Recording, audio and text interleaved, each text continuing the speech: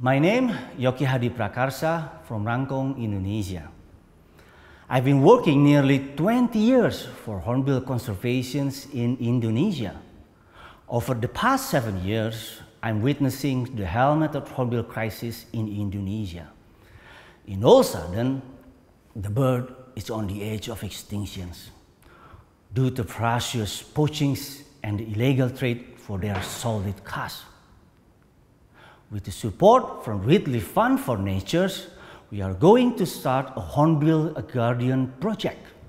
It's a project to promote a mutual benefit between community and the hornbills without need to killing it. I'm very grateful to receive the award. With this support, I can continue to save these majestic helmeted hornbills in Indonesia, not only for the bird, but also for Indonesian people futures.